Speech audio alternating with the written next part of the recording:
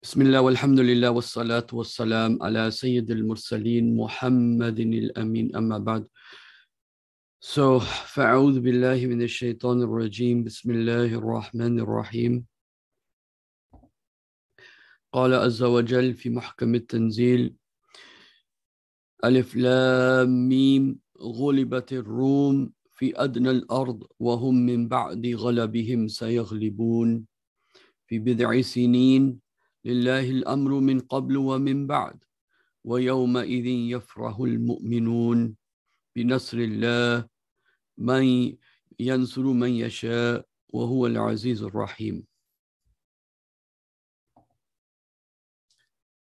So today I have, I would say in some ways, more important things to say today.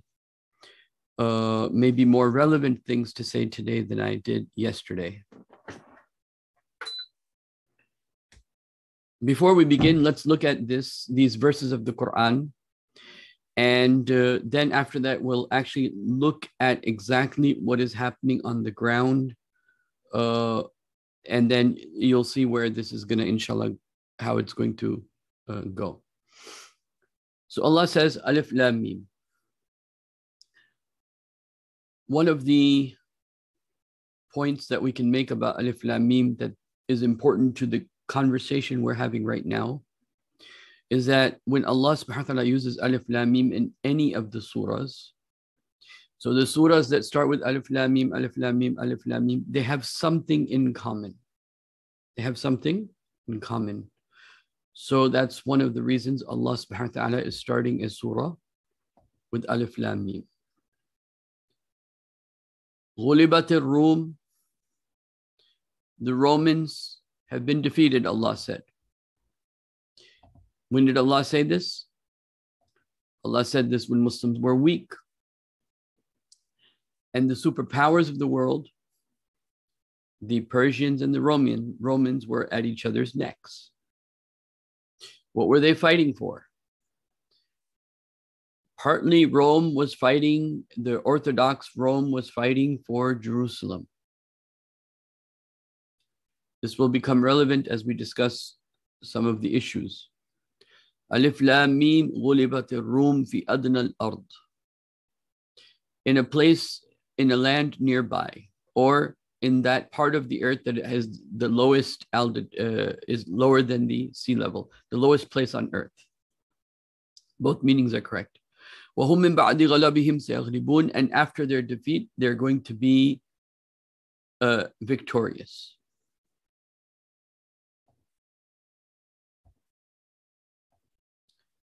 في بضع سنين in just a few years.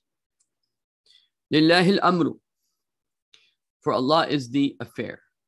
It's Allah's will. لله الأمر من قبل before ومن بعد and after. This I want to point out what I'm trying to going to emphasize in this introduction to this talk is these words of Allah, لِلَّهِ الْأَمْرُ مِنْ قَبْلُ وَمِنْ بَعْدُ. For Allah is the affair before, in the past, and ba'du, and in the future. And then it is, وَيَوْمَئِذٍ يَفْرَحُ الْمُؤْمِنُونَ And on that day, the believers will rejoice, meaning before, a day before, and a day after. Something in the past, something in the future, the believers will rejoice. What will the believers rejoice? The victory of the Romans. Why will the believers rejoice on the victories of the believers? A few reasons. Binasrillah, by the support of Allah. Yansuru man yasha. Allah helps whoever He wants. Wa huwa al-azizur rahim. He is the one who has authority and He's the most merciful. Wa'adullah is the promise of Allah. He'll keep His promise. One reason to celebrate is when Allah keeps His promises. And you see that Allah has kept His promise. And that help came from the place where you did not expect, where Allah promised it would come. Wa'adullah la yukhlifullahu wa'ada. And Allah doesn't break His promise. ولكن أكثر الناس لا يعلمون But majority of the people, they don't see this. That Allah subhanahu wa ta'ala will keep his promises and things will pan out as Allah subhanahu wa ta'ala has foretold us. The question that we will ponder upon first before we talk about some interesting stuff is why Allah subhanahu wa ta'ala is telling the believers to rejoice over the victory of some non believers. I want you to think about this and think about our attitudes today. If somebody said today, well, we should rejoice over the victory of such and such non Muslim group, we might not get it. But when you look at the bigger plan of things, that how Allah subhanahu wa ta'ala is unfolding the events to make his promises come true, to show people the sign that things will unfold in the direction that Allah wants. Number one. And that Allah subhanahu wa ta'ala may do this with whomever He wills. In Surah Al-Isra, Allah subhanahu wa ta'ala mentions for the people that were not Muslims who conquered Bani Israel because of their disobedience to Allah. Let me show you the verse actually. And this will become relevant in the context of that no one comes in the way of Allah in His plans. And I don't think I will be wrong in saying that right now, uh, in a metaphorical way, Muslims are coming in the way of Allah against His plans. So in Surah Al Isra, Allah subhanahu wa ta'ala mentions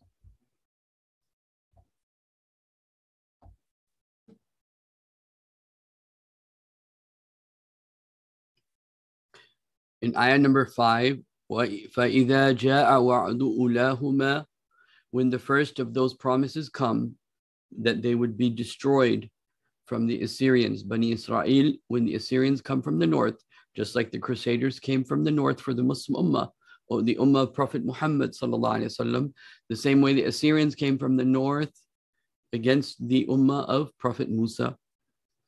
فإذا جاء وعد أولاهما بعثنا عليكم عبادا لنا we sent against you our servants.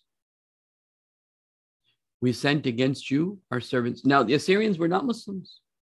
The people that were being sent, the army was sent against, they were Muslims. فَإِذَا جَاءَ وَعْدُ أُولَاهُمَا When the first of those promises comes, you will see what? That Allah subhanahu wa ta'ala is calling the disbelievers ibadan lana, our servants, uli ba'sin shadid, with great power they have. فَجَاسُوا خِلَالَ الدِّيَارِ And they'll even enter into your houses. وَكَانَ وَعْدًا مَفْعُولًا This is a promise of Allah. Again, promise is mentioned. Meaning Allah subhanahu wa ta'ala doesn't need you, you need Him. And Allah will complete His promises and His tasks and His, his plan will be completed whether you're part of it or you're not part of it. This is also the threat given in a different way in Surah Al-Muhammad, the last verse of Surah Al-Muhammad. Uh, Allah subhanahu wa ta'ala says, let me show you, فَإِن تَتَوَلَّوْا يَسْتَبْدِلْ قَوْمَ غَيْرَكُمْ ثُمَّ لَا يَكُونُوا أَمْثَالَكُمْ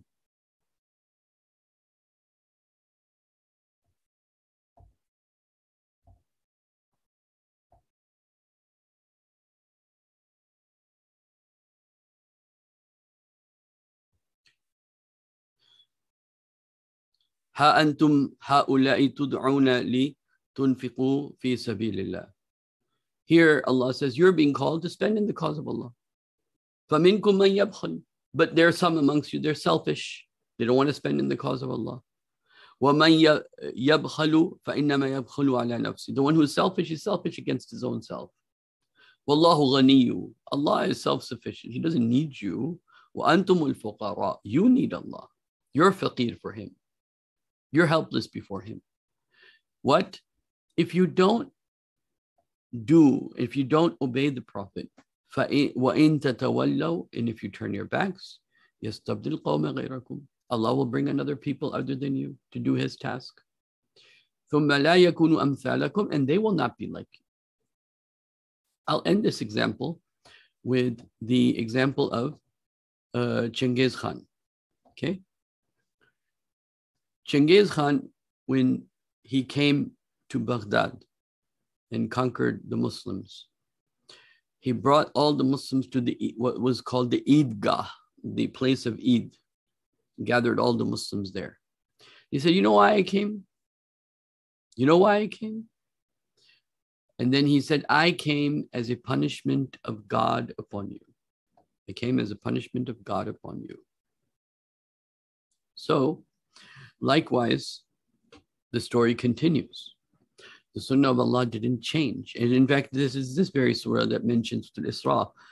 لن تجد سنة الله تبديلا ولن تجد سنة الله تحويلا. The Sunnah of Allah doesn't change. The plan of Allah continues whether the believers are part of it or not. And so it's very important to understand, therefore, what is the plan of Allah? What does Allah want? Where do we stand in history? What does Allah subhanahu wa ta'ala expect us to do at this point and in this junction of history? And so the Prophet was told the Romans have been defeated. And this is one very important point that the Prophet, from the very beginning, had a soft spot in his heart for the Christians and they were closer to Islam.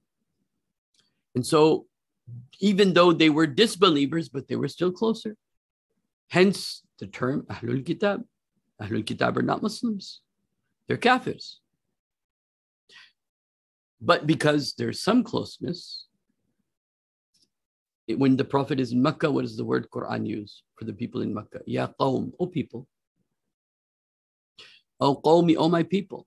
That was the common bond, the family bond of being Quraysh, being Hashemiya that he had, and that's how he addressed the people. Oh, my people. When he was in Medina, he was dealing with the Jews. What's the common bond he has with the people of Medina? They're not Muslims. They're Ahlul Kitab. The Quran calls them the people of the book.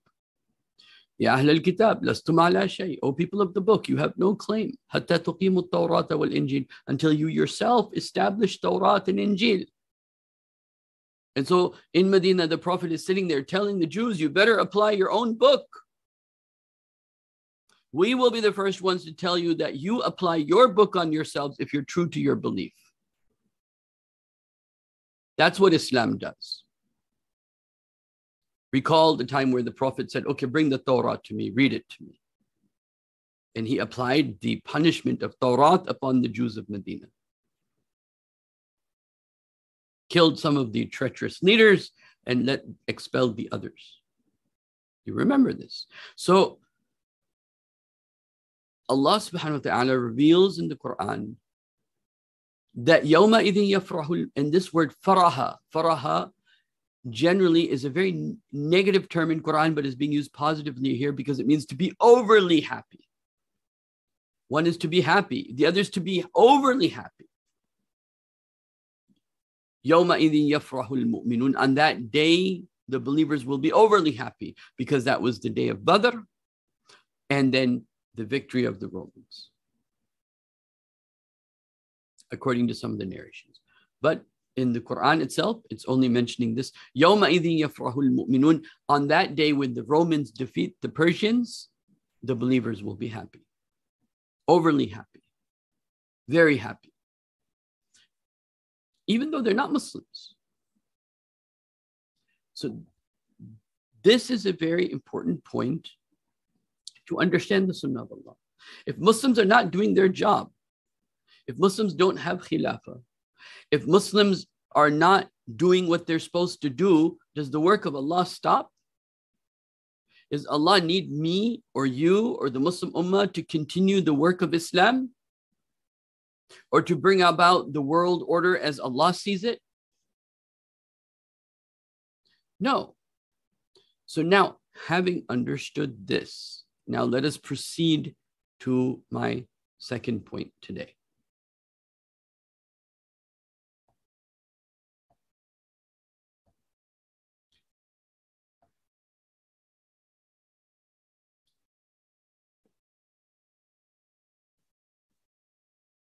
Allah subhanahu wa ta'ala says in the Quran, and then after this, I'm going to talk about Putin and what he's done with the Muslims in Russia, inshallah. Allah subhanahu wa ta'ala says, وَلَا تَجِدَنَّ أَشَدَّ النَّاسِ عَدَاوَةً لِلَّذِينَ آمَنُوا You will definitely find لَتَجِدَنَّ This is lam, for the people know Arabic language, lam tashdid, noon, noon tashdid with فعل مضارع you will definitely find in the future أشد الناس the most severe amongst mankind عداوة in hatred in enmity basically having the iblisi attitude towards Muslims we are better than you عداوة للذين آمنوا for the people who really believe al-yahud Now, it is so interesting here. It is so interesting. It is so interesting from a grammatical perspective. I wonder how many people would catch on to this, but it doesn't say Yahud, it says Al Yahud. عداوة للذين آمنوا اليهود والذين أشركوا and those who do shirk. وَلَتَجِدَنَّ أَقْرَبَهُمْ And you will definitely find in the future the most closest to you in mawadda, in love and affection, like family members. لِلَّذِينَ آمَنُوا To the people who believe. الَّذِينَ قَالُوا Those who say, إِنَّا نَصَارَى We are Christians. That's their identity. ذَلِكَ And Nasara means helpers. So what are the helpers? So I'm gonna, if I remember, I'm gonna talk about that. Why Nasara? ذلك بأنهم قسيس ذلك بأنهم قسيسين ورهبان This is because amongst them are priests who tell them to be humble, who give them anyhow good advice. ورهبان And they have the monks amongst them. وَأَنَّهُمْ لَا يَسْتَكْبِرُونَ And they are not a proud people. Okay? If you find Christians who are proud, I can give you an example of John Hagee and Billy Graham and so many other evangelical Christians in America, preachers who make tall claims and this and that. And but these people, they're not, they don't have they don't have takabbur they definitely don't represent Iblis because Iblis's number one symbol internally is is takabbur. About was takbar. So they're not amongst them. But when the believers will find that the most harshest against them are those who are Jews and those who make partners to Allah. Now, let's stop here for a second, because when I talk about Russia and when I talk about Putin, once this point is clear, everything, a lot of things will become clear. Why will in the future the Jews and the mushrikeen be harsh on the Muslims? Hmm. Because the Quran says, وَأَنْتُمُ الْأَعْلَوْنَ إِن كُنْتُم مُؤْمِنِينَ You will be most high if you are truly believers.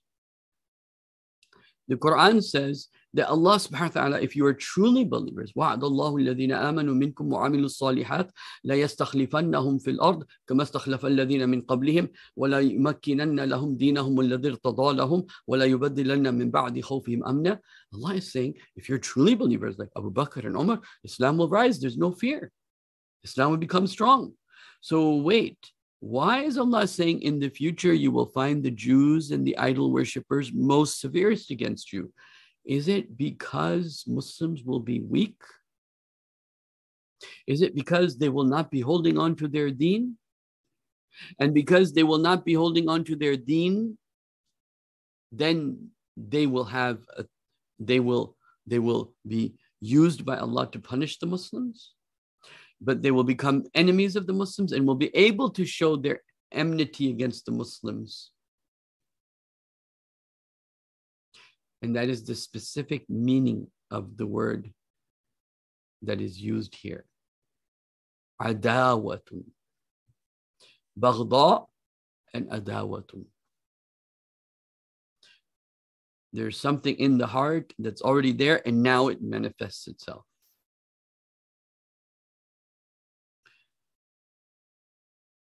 For the people that know Arabic language will know Baghda and Adawatun. Anyway, so now let us look at what has happened in Russia. Okay. And so I'm going to maybe not be completely coherent, but I'm going to try to make it as coherent because there's a, a, lot of things I want to share with you. But I wanted to share these verses of Quran so that when you're looking at, and this is what we're supposed to do, everything we look at, we're supposed to look at it from a Quranic point of view. So now when I show you certain things, you'll be able to see that through the nur of the Quran. Okay, I get it, right? So let's inshallah ta'ala start from point number uh, Let's start with point number uh, one.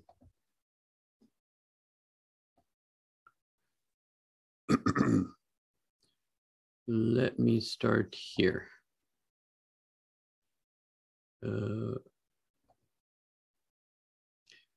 this is the mus. Uh, let me uh, make sure I turn on the audio before I do this. This is the brother who is in charge of Chechnya. He's in charge of the Chechnyan battalion. And in order to understand how well thought out, how well thought out Putin's strategy was, there's a reason he put the Muslims in the front. Because he's showing the West that you tried to create a po- proxy war against me. But now these people are my friends. And they're the ones that are going to take over the capital. It's the Chechenian Muslims. And their experience before that in Syria, because Russia or Putin used Chechnyan Muslim against ISIS. Okay. And now he's bringing them back in the forefront to show Europe that look, these people that you turned against me, today they're working with me. To, to show you how well thought out and detailed his thinking and process, and he took his time because I'll, I'll show you other things too. So, so you kind of get an idea of how well timed this was.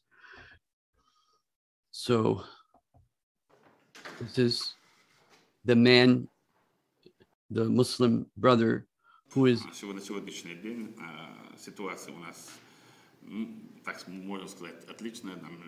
So if you look here, что выбранный курс вами и нашим первым президентом Героем Кадыровым Putin appoints Ramzan Kadyrov as acting head of Chechnya. Все социальные значимые там вопросы This is the guy who is leading the people in Salah and give, he gave the adhan and he led, oh, wait, uh, let me see if I can do this here. This is the this is the brother who is uh he gave the adhan and then he had one of the elders lead prayers. This is the army that is actually going to take over the capital of Ukraine. These were the same people who at one time were fighting against Putin. And today he has them in the front line to show the world that you use these people against me, but now I have made them my friends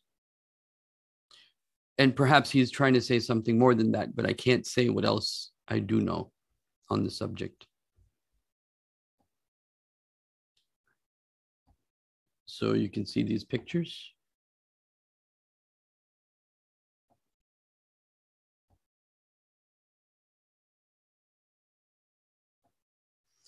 Okay, let's continue now. Talking about his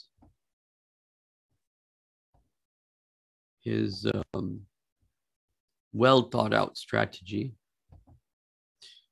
He's also made sure that the timing is such that, especially Europe, and this is why they've not been able to take any strong action. They've not been able to take strong action. Why? They've not been able to take strong action because uh, they are in an energy crisis. What happens if Russia cuts off Europe's natural gas? How Europe is trying to deal with its gas crisis, Does it want to make it worse. Why is there an energy crisis in Europe? And uh, we will talk about Turkey in a little bit later. Okay, so this was only to point out that this is not something he thought of maybe a few days or a few months. This was something that was thought of, thought of, and relationships he built within his environment for a pretty long time before he took these steps. Now, let me introduce you to the second thing that I want to share, the next thing I want to share with you. And then please uh, take a note of these Orthodox Christians and tell me if you see something interesting. I've Been using a professional lawn service, but it just hasn't been worth it. So that's why I switched to Sunday. They know exactly what you need based on your address. They send it to you right when you need it.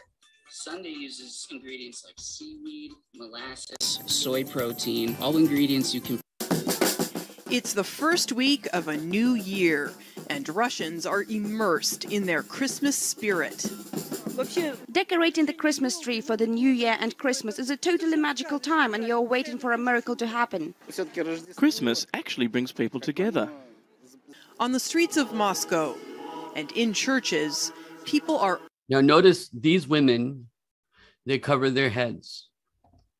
And you'll see the religious ones are covering, and the not so one religious ones are not covering, as you'll see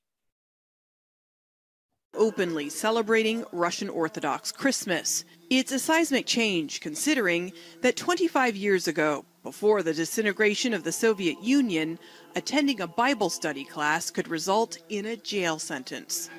From the establishment of the Soviet Union in 1922, communist leaders sought to eradicate religion. Churches were destroyed, and the faithful were watched and persecuted. Today's conditions for the church over Russia's 1,000 year long history are the most favourable. I think this is the main feature of freedom in life. A man doesn't need to hide his religious beliefs. President Vladimir Putin has embraced his faith, routinely appearing at Christmas and other religious services. Analysts say he's used the Russian Orthodox Church to promote a so called pivot to traditional values. But even as the church's status has risen, Putin has sought to ensure it remains subservient to the state. We can see understandable contradiction between uh, the interests of the church and interests of the state like in case of Crimea. The contradiction is connected to the fact that Russian Orthodox Church is not only about Russia, it's about a much bigger space, including Ukraine. If the Russian Orthodox Church is enjoying a kind of renaissance, I'm going to talk about this when we get there. Now, also watch this. Now, what is Putin doing with the Orthodox Church? He is creating a power of Orthodox churches. And I'm going to talk about this in detail, but let's first watch this video. With its golden domes and towering white walls, the Trinity Monastery of St. Sergius is the spiritual home of Orthodox Russian Christianity. Millions of tourists snake their way inside the complex each year, but the monastery could soon engulf much of the surrounding town of Sergiev Posad. The town's mayor and church officials want to spend $2.2 billion restructuring the area into the heart of the Russian Orthodox Church. Locals are divided on the ambitious plan. God is with us. God is everywhere. We're all for it. Let the money come. It's not that much money, and it's worth it. We have many needy people that they could give that money to or build good roads or homes like the ones we used to get for free. They could spend money on that. I don't think that it's a great idea by our government. The Kremlin will provide at least 90% of the funding. With increasing support from the state, on average, three new churches are opening in Russia every day. Russia. Okay, so this is historical. I, I hope you understand this. Three new churches opening up in Russia every day. Three new churches open. Like imagine a, a, a situation, a revival of Islam where it used to be communism and now they're opening up three masjids a day. Like what would that look like? Right? So, but it's more than that because politics is involved and a lot of other things are involved that relate to Constant, Constantinople, which I'm going to talk about. But first, you have to kind of understand what's happening, the statesmanship of Russia, and then what's happening on the ground, religiously, spiritually, and how does all of that relate to the plan of Allah? Okay. This Orthodox Church has rarely had such a bright future, but there are politics at play here too.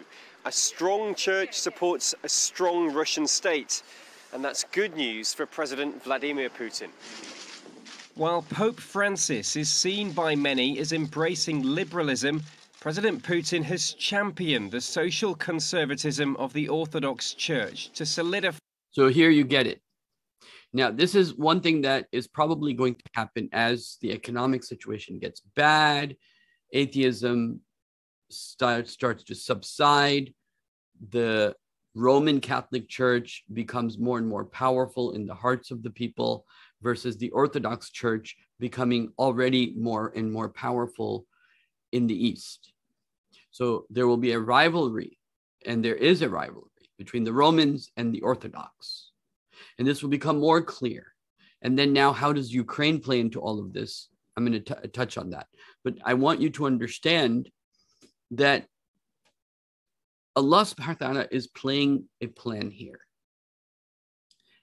And the plan is partly to wake Muslims up, but the other part of the plan is to help the Muslims because they are not able to help themselves.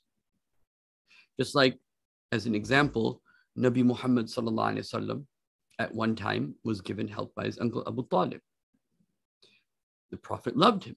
The Prophet cared for him. The Prophet would, you know, he he had tremendous feelings of love for him, regardless of being Muslim, non Muslim. But Allah used him for his prophet. So, the same way, Allah can use anyone for Islam. In fact, uh, the Prophet said, Sallallahu Alaihi Wasallam,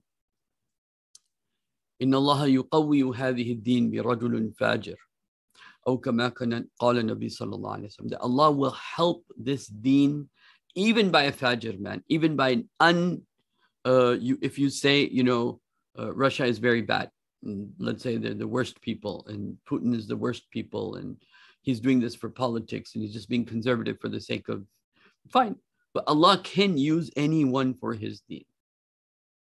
Okay. So now let's go to the next part of this conversation.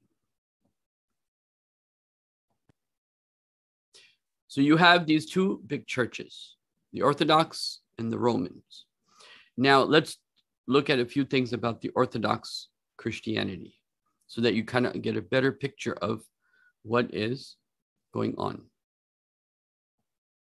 Uh, let's see if I get this. If not, then I will. The Orthodox Church split from its Russian counterpart in 2018. Now, let me explain this a little bit. The, the church in Kremlin, the, the main church of the Orthodox in that area is in in, in Moscow. The leader of Moscow appoints the priests in Ukraine, even now. But people in Ukraine started to say, well, maybe that's not a good idea. Well, there's a rivalry going on within the Christian Orthodox churches. And the rivalry is becoming threatening to the Orthodox Christians. And this is the, I'm going to come to that as soon as I can. Let me actually uh, go over this first.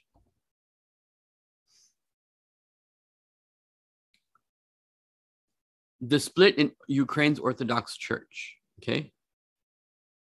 Uh, the decision was approved by the Patriarch of Constantinople, the symbolic first among equals of the world's Orthodox churches, triggered a major fallout within the Orthodox world, possibly the most serious in a thousand years. The same month, a declaration was made. The Russian Orthodox Church announced that it would break off relations with the, uh, I don't know how to say that word, okay? But this whole thing so, how did it come about? And this goes over the history of the different Orthodox churches and how they broke from one another. But here's what the end result is. I'm not going to read the whole article. The end result is this is that there are two sides to this the church and the politics. The bigger the Orthodox Church, the bigger Putin's base of strength. Okay. That's clear, right? The bigger the the bigger the Orthodox Church. So one of the main Orthodox churches is in Ukraine. And those Orthodox churches, okay, they have been pondering and thinking about separating from Russia because Rush, the Russian Orthodox churches control the Ukraine Orthodox churches, the biggest ones. So if now they're a separate country, many people are talking about cutting off the church. Well, Putin always saw the church, just like Trump did in the United States.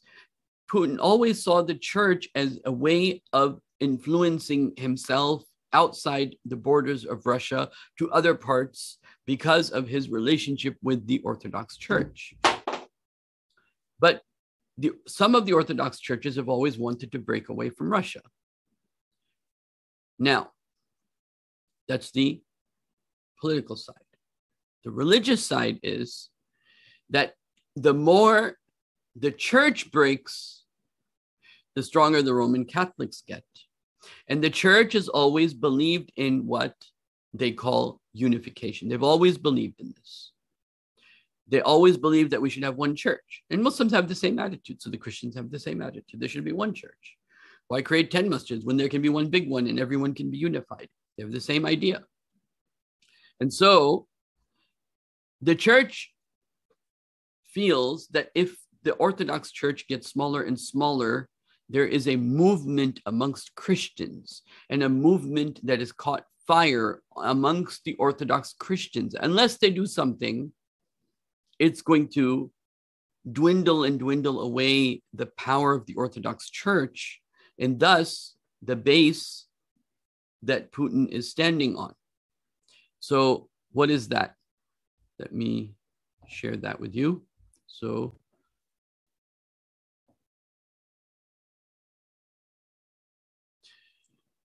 you can also see this title here Why Church Conflict in Ukraine Reflects Historic Russian Ukrainian Tensions.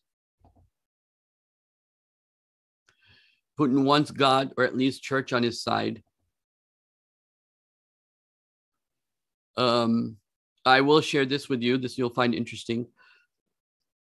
In Russia, from 1988 to 2016, you can see how the numbers of priests have increased, how the monasteries, almost a thousand monasteries now compared to 22 in 1988, parishes, bishops, you know, dioceses, they've all increased.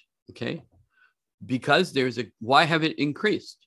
It's increased because religious needs are more. Obviously, three churches a day, even 35,000 priests is really not enough.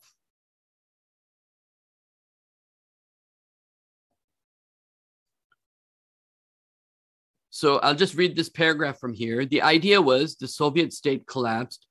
we think it was a geopolitical catastrophe. But look, the church is still there. Like I said yesterday, if everything collapses, what will people resort to for unity, for coherence, for society? If everything collapses, everyone's going to resort to the religion. And this is what kept Soviet Union together or kept Russia together because they were hoping that when it would fall, it would fall completely. They didn't anticipate on the church playing such a big role on keeping everything unified.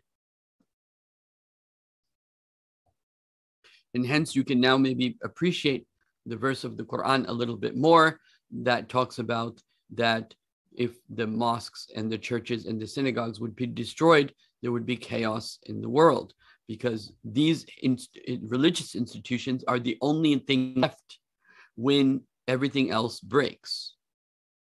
Okay, so the idea of the Soviet state collapsed, we think it was geopolitical catastrophe, but look, the church is still there a former editor of Moscow's uh, magazine who was fired in 2015 for criticizing the church's leadership.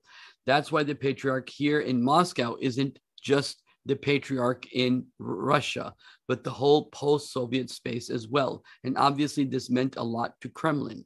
So, what you're understanding here is that the church exerted influence on all the Christians of the entire region, regardless of Russia. But now, what does Russia want? Russia wants to keep the Orthodox Church united. Putin wants to keep the Orthodox Christians united because if they don't, then I'm going to show you something that is of a great threat to the Orthodox Christianity is uh, something that the Roman Church has started, the Protestants started, which is swaying Orthodox people away. Okay, which I will share with you, inshallah, here in a second, as soon as it comes up.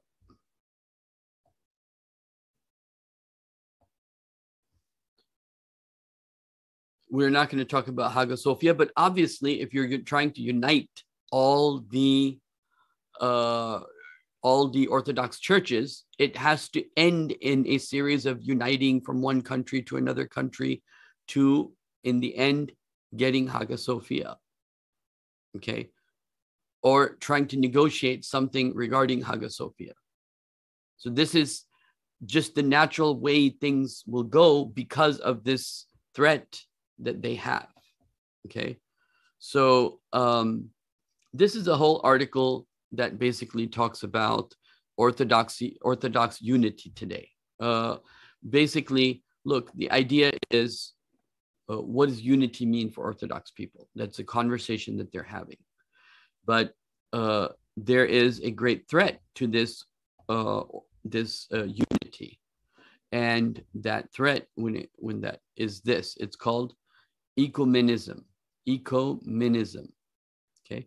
Ecumenism is the idea that it doesn't matter which church you belong to, be Roman Catholic or any other group or this group or that group. And if I had time, I would go into the details because they have a very they have the Orthodox Church has a very like a, you know how in Islam we have a isnad based teaching, like who's your teacher and who's your teacher's teacher and who's your teacher's teacher, like very asnad based, very like you have to be legit and you have to be approved and you have to have ijaza. In the same way, they have a system. You can't just become a priest and open up a church. Okay. You have to go through their asnad system to do things, their, their system that they have in place. Well, this, uh, the movement of, of is what is it doing? It's saying, oh, as long as you're Christian, as long as you don't have to follow everything, you just follow some of it. This idea of liberalism and then within the churches the idea of i don't know how to say this word again uh, this movement that says hey as long as we're okay we have some things in common it's good enough. This is going to water down the true teachings in their eyes of the orthodox church. So now there's only and and these this threat is a big threat because they see the roman catholic church as literally the devil okay? And they see that as a big devil. And in fact, you know, um, they would rather see us closer to themselves, the Orthodox Christians, because these Orthodox Christians now you see their women in hijab. When they see Muslim women in hijab, they have a certain affinity that they feel towards Muslims because of the commonness, it's easier for them to understand the message of Islam. And it's easier for them to appreciate the Islamic message compared to those Christian women when they look at that don't that think this is backward. So I hope you're getting the point here. Okay, so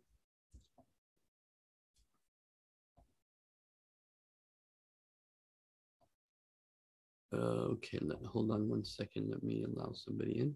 Okay.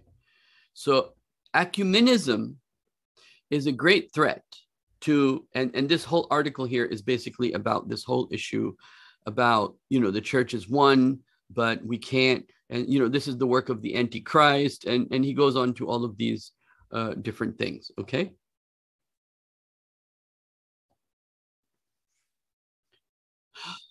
Chechnya experience of combat in Syria. Uh, I won't go over that yet. I talked about this. I talked about this. Uh, now I want to talk about this. So now Turkey is in a very difficult situation. Why is Turkey in a very difficult situation? Turkey is in a difficult situation because Erdogan has sided with NATO. And essentially, that means Erdogan has sided with the Catholic Church from a Orthodox Christian perspective. Okay. And Erdogan tells Putin uh, uh, tells Putin won't accept moves on Ukraine's sovereignty.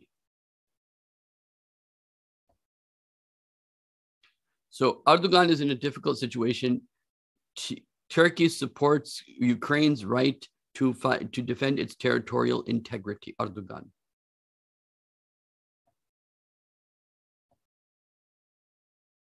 Turkey to continue to support Ukraine's territorial integrity and unity.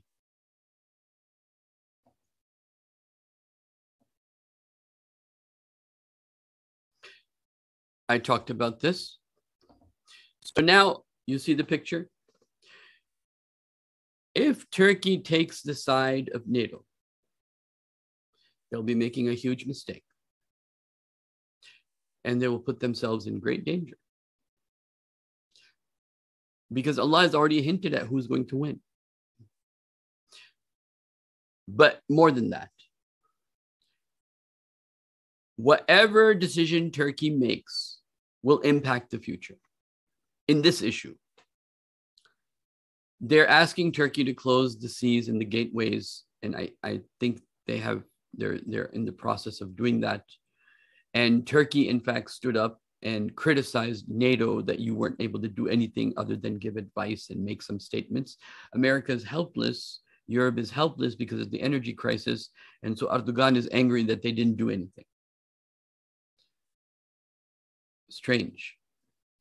So what is my point here? My point here is that when the Quran is giving us guidance on which people you befriend and which people you stay away from. You don't befriend the people who made an alliance with the Judeo Christian civilization. That's the wrong side. Those that say we are helpers of God, we are Nasara, those that say we're Nazireen, those that say that have the monks, as we saw the number of monks increasing, those that have the uh, humble attitude. And now, and, and, and, and so when you look at this, if Turkey takes the side of NATO, it will be, it will have negative consequences. And so now we talk about the hadith of the Prophet sallallahu in which the Prophet mentioned how Constantinia will have will be invaded. Who is going to invade Constantinople? I don't know. Will it be the NATO side or will it be the Orthodox Christians? I don't know that yet. But what I do know is that if Turkey makes the wrong decisions, then it will have consequences. And it seems to me Turkey is either being forced or is going to make or wants to make the wrong decisions because it wants to be part of EU, it wants to be part of NATO, it wants to be part of that alliance, rather than understanding where their true friendship would be. Because they you know how for how long Turkey has been begging NATO and EU, please let us be part of European Union. Please let us be part of European Union. Please let us be part of U- e- European Union. And you see how Putin, for example, is treating the Muslims. When Khabib won, you remember all of you when Khabib won, how uh, the Putin he went to uh, you know uh, Khabib's house. He met with him and his dad respected him. This is the this type of respect. France and Germany and England and these countries, they're never going to give the Muslims. Never. He made a Muslim head of the in charge of the main operations of his military. Do you expect America to do ever do that? Do you expect England to ever do that? Do you expect Germany to ever do that? This is the difference. So you this is why the Quranic guidance is so important. This is why Quranic guidance is so important. That without the Quranic guidance, these things would be hard to figure out. Quran points you in the right direction. You do a little bit of research. It makes sense to you. You add one plus one is equal to two, and you say, okay, this is what we should be doing. Quran is a book of guidance. And then now, let me end by this conversation that I wanted to have. And inshallah, we'll be done for today. Not like yesterday, three hours. I, you know, I was like surprised at that. So now let me share with you this.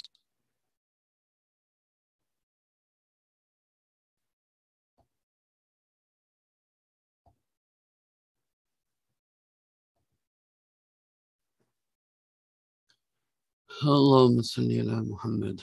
Okay. Now let us look at Prophet Muhammad's attitude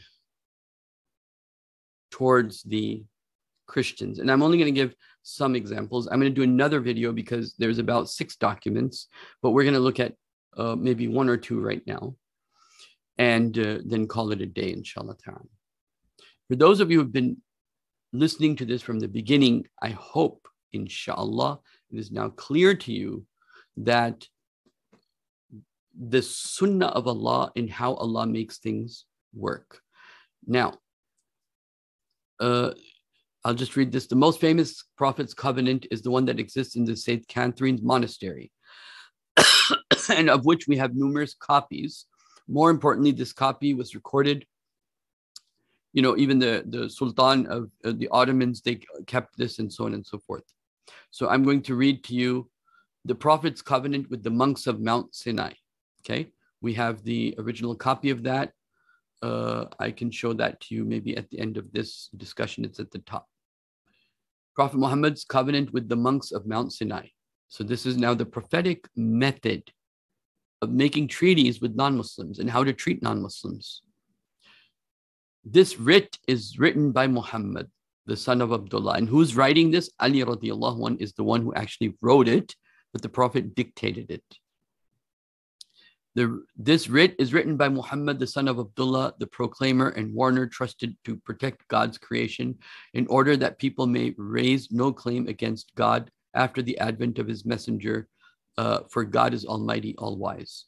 It has been written for those who profess Christianity as their creed, in East or West, far or near, Arab or non Arab, known or unknown, as the covenant of protection. If anyone breaks the covenant herein proclaimed, or contravenes or transgresses its commands, he has broken the covenant of God, breaks his bond, makes a mockery of his religion. Meaning, if you if you treat non-Muslims, and there's a Sahih hadith and Sahih Muslim about this, the Prophet said, "I will stand with the dhimmi, with the non-Muslim on the day of judgment against the Muslim." Okay. So you will be making a mockery of your deen if you use your deen to oppress non Muslims, makes a mockery of his religion, deserves the curse of God, meaning it's a kabair, it's amongst the big sins, whether he is a sultan or another among the believing Muslims. And many, many sultans treated non Muslims, especially Orthodox Christians, very badly. And it is not by chance that the Prophet may have written that. If a monk or a pilgrim seeks protection in a mountain or valley or in a cave or in tilted fields, in the plain or in the desert or in a church, I am behind them, defending them from every enemy.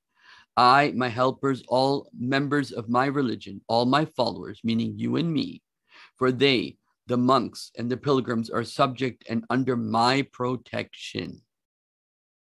I will remove from them all mischief which subjects have to bear of supplies which they give as loan goods from their land taxes to their rulers, except for what they voluntarily consent. So even the jizya is based upon what they agree to give.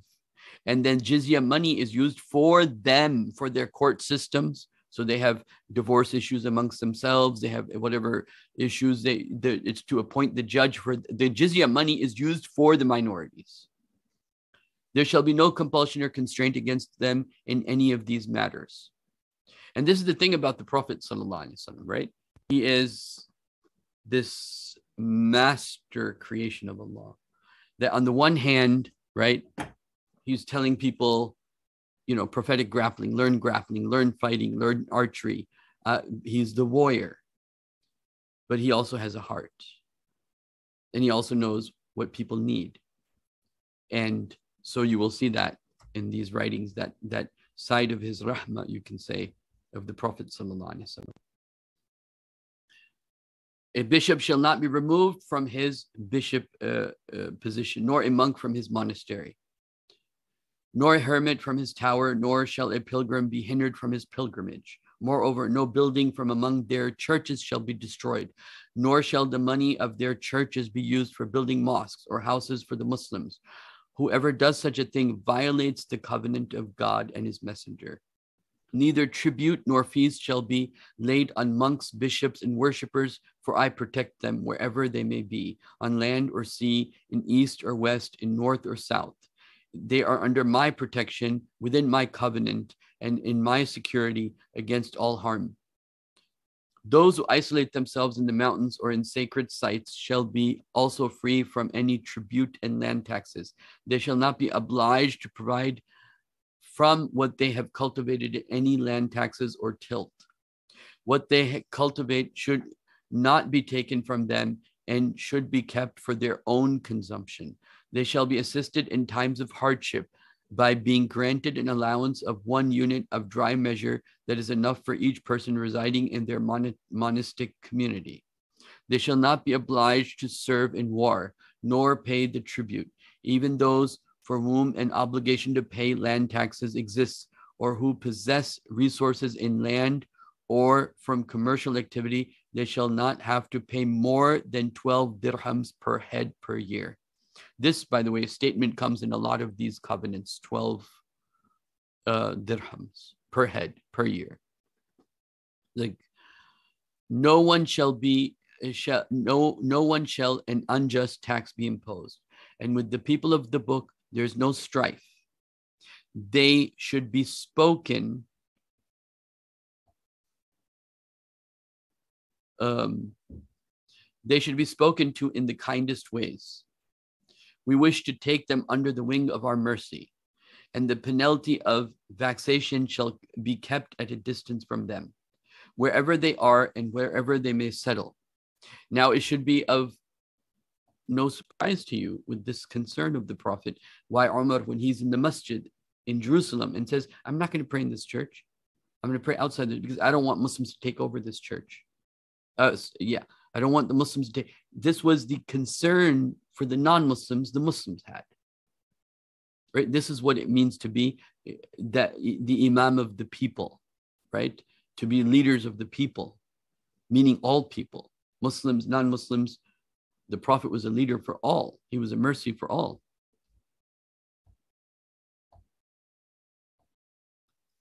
If a Christian woman enters a Muslim household, she shall be received with kindness. She shall be given the opportunity to pray in her church. Her husband shall never intervene between her and her religion. Whoever contravenes the covenant of God and acts to the contrary is a rebel against the covenant and his and his eh, his covenant and his messenger. Meaning your bay'ah with the Prophet would be broken. These people shall be assisted in maintenance of their religious buildings, meaning a Muslim is spending his money, or the Muslim Khilafah is spending their money on maintaining their churches. Thus, they will abide in, uh, be aided in their faith and kept true to their allegiance. None of them shall be compelled to bear arms, but the Muslims shall defend them, and they shall never contravene this promise of protection until the hour rises and the world comes to an end. So, after the Prophet passed away, his successor, the second commander of the faithful Omar, followed the example of the Prophet and gave a covenant to the Christians of Jerusalem as follows. Uh, I don't know if I want to read this one too. There are six of them that are very famous. Um, I'll read this one uh, quickly and then I'll take some questions and we'll call it, you know, I'll say some ending words and take some questions and then we'll call it uh, day for today. Praise be to God who has honored us with Islam, blessed us with faith, sent his Prophet Muhammad, peace be upon him, as a mercy unto us. And through him we were guided out of error, our hearts softened, our hearts softened, our hearts softened towards one another, and we became united as dear brothers, even though we were disunited. And he made us victorious over our enemies and established us in the land Praise God, O servants of God, for this indeed is a blessing for which he has given you.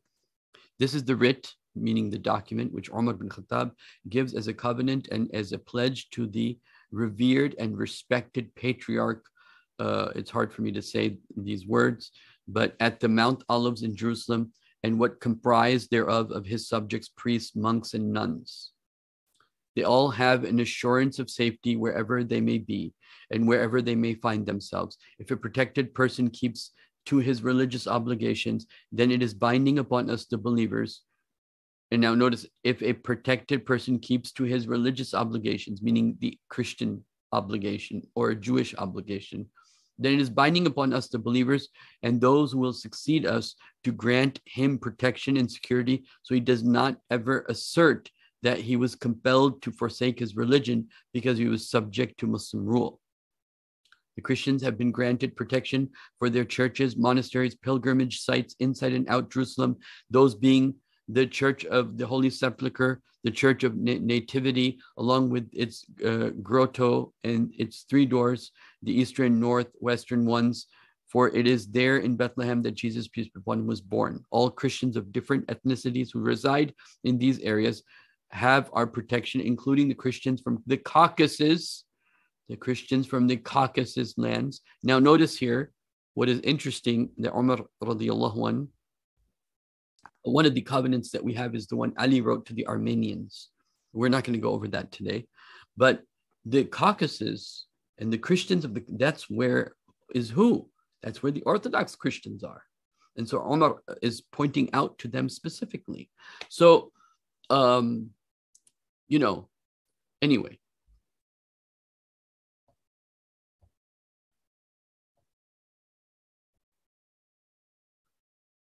those Christians who come for the Caucasus lands and from the Abyssinia. Abyssinia is another place, right? Those Christians who come for pilgrim from among the Franks, the Copts. Now, Franks is Europe proper, what we call East Western Europe. This is French, the Franks, the Coptics, the Egyptians, the Syriacs, the Armenians, the Nestorians, the Jacobites, the Mennonites, all of whom fall under the patronage and the aforementioned patriarch also have our protection. The patriarch will act as a representative because the blessed, honorable, and beloved prophet sent by God honored them with his seal, which he gave to them using his blessed hand, which I will show you. And then he commanded that they be looked after and protected. It is for this reason that we believers conduct ourselves righteously today to those who treated them nobly in the past they have been exempted from tribute and all burdensome obligations. They will be protected from all harm, whether they be on land or sea. When, whenever they enter the Church of Holy Sepulchre or whichever pilgrimage site they choose to visit, none shall be taken away from them. As for those Christians from outside Jerusalem and Bethlehem who make pilgrimage to the Church of Holy Sepulchre, they will give the patriarch one dirham and a third in silver. Okay, so this is to their own. Even every believing man and woman, regardless of whether they are rich or poor, has the duty to carry out this warrant, which every sultan, ruler, governor exercising his rule on earth needs to abide by. This being an obligation on all Muslims and believing men and women.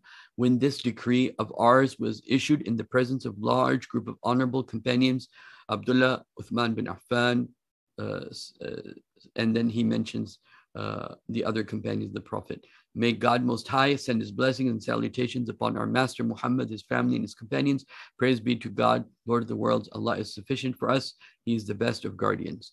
It is the writ on the 20th of Raj- Rabiul Awal on the 15th of the Prophet's Hijrah. Whoever of the believers has read this decree opposes it from now until the day of judgment, then he's broken the covenant of God and has been, been disavowed by the noble messenger. Okay, so now uh, let me show you this. This is a copy of one of them that is one of the famous ones. Okay, and it even has uh, a seal bearing his entire hand on both, you know, uh, these are, and this is what the Ottoman Empire also enforced. Okay.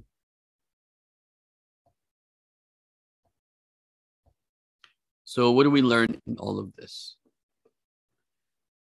What we learn in all of this is that when we look at the situation before us, we can see that the obligation of the Muslims towards those people that are becoming true to their own deen. True to their own deen.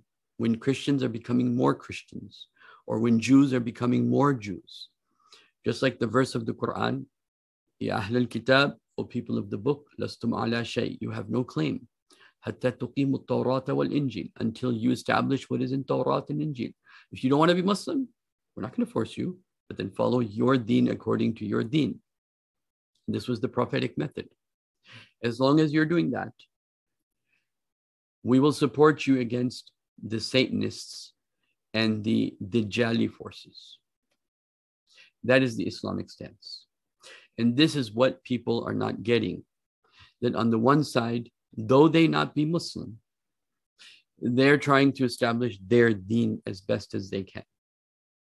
And on the other side, you have this Catholic Church that's opening out to gays and lesbians and all other genders and liberalizing religiousness and breaking all the covenants, all the commands, and uh, is a force of complete evil. And so, hold on one second.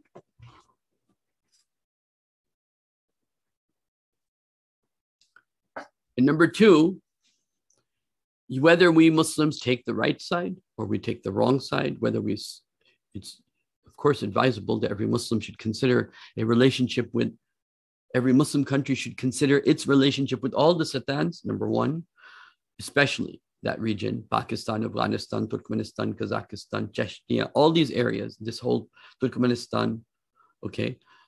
And number two, should consider its relationship with these Christian groups that are becoming more Christian that yes, and that means that because they're becoming more Christians, they want a Christian empire. They want to expand the Orthodox Church's influence. And if Muslims don't know how to negotiate and don't know how to talk, and if they side with the wrong people, then it will have dire consequences.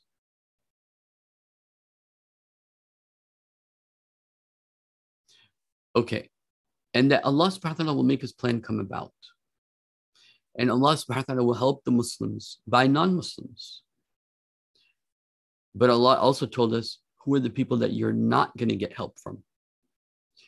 And it is those people that we're not going to get help from that we're doing sujood to them. And those people that are willing to treat us with respect and honor and dignity, like they did with Khabib and this general, we're not willing to sit on the table with them. That is the situation the Muslims are in today. So I will open up the uh,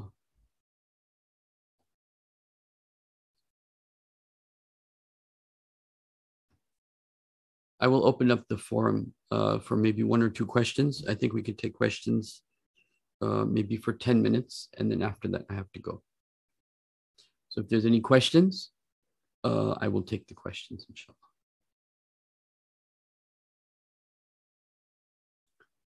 Uh, yes, brother. Uh, I think brother Hussein had his hand up first.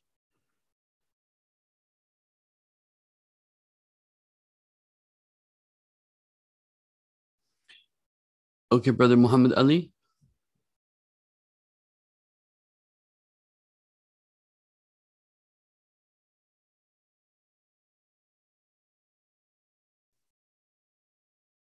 We can't speak. Okay, let me see what I can do that. Uh, enable. Okay. Does anyone know how to turn it on? Let me see now. Okay, try now.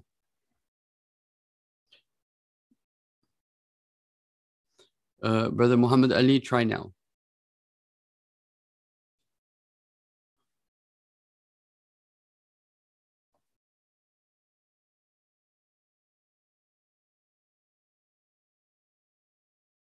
No.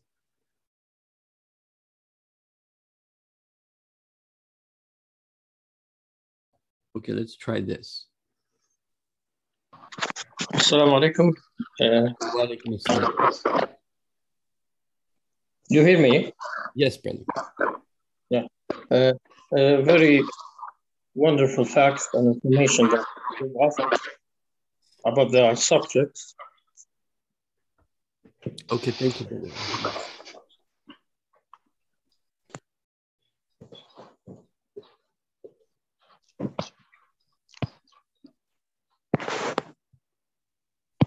Okay, let me try. Sheikh, assalamu alaikum. Uh, walaikum assalam.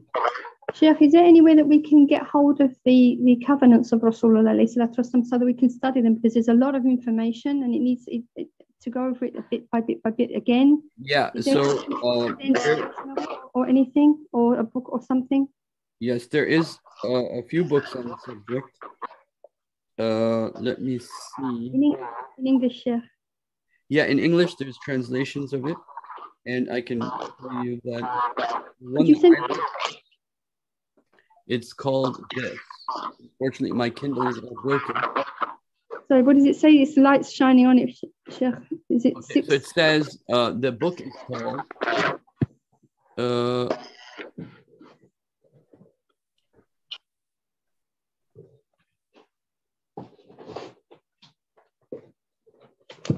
this it's called Six Covenants of Prophet Muhammad with Christians of his time. The primary documents. Who is it by, Sheikh? Has it got an, uh, an Uh, Muhammad bin uh, Abdullah. Muhammad bin Jazakallah. Yeah. Let's pick it up together right over here. Because uh, these are really, I do want to do a YouTube video at some point on these documents itself, because there's a lot of interesting information. Now, I will mention some fiqh issues, which I didn't mention, because these documents are written in a different context, and Islamic law was developed in a different context. So I'm going to explain a few things so people are not confused. So, uh, but uh, covenant.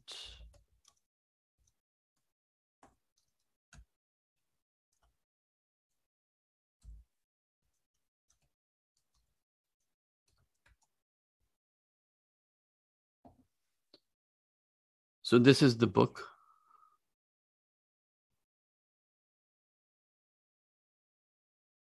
Okay. And now, uh, let me, I forgot to mention there's a difference of opinion in the amongst the fuqaha. Uh, there's some things that need to be clarified so that there's no, uh, the rules in these treaties don't apply if they attack you or they rebel against you. Then the rules are the ones that I talked about when I a while ago talked about uh, Hagia Sophia and how it was captured and what were the proper rules versus the improper. I talked about that in detail, looking at traditional sources in our uh, Islamic books uh, on uh, on in, in that situation. Okay, but this is if you go in peace, they accept like in Jerusalem, Omar went in peace. Then this is the type of covenant where it's completely like open and completely there's no obligations. But then if you don't go in peace for security purposes, certain things need to be done like, uh, in the time of threat or in the time of war. Non-Muslims may be asked to wear certain clothing so they can be identified. So the fuqaha, they have this. It was done more, you can say, out of practicality of situation. But the spirit the original spirit, the one that the Prophet says is forever, that is this. But if because there's threats and security, and then you can add on rules that the companions added on just to protect themselves. Uh, yes. Uh, Brother Hussein?